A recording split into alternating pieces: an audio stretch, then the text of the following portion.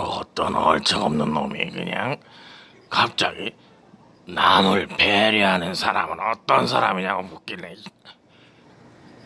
뭔 소리냐 했더니 남을 배려하는 사람이 검도하는 사람이래 검도. 아 배려심하구나.